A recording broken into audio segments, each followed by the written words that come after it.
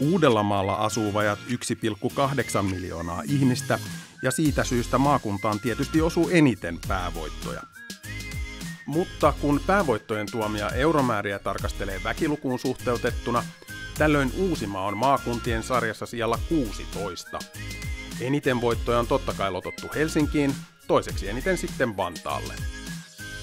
Maakunnassa suurin määrä euroja on väkilukuun suhteutettuna osunut maamme toiseksi pienimpään kaksikieliseen kuntaan, itäisen Uusimaan Myrskylään.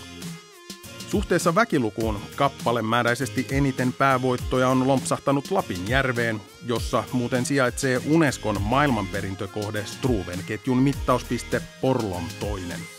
Uteliaat voivat googlata.